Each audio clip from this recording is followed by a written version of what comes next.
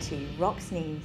This week at Safety Rocks Limited, we have been reviewing the HSE statistics for 2020-2021 and we wanted to share with you some hot topics. There has been a significant increase in the number of workplace fatalities, up 29 to 142.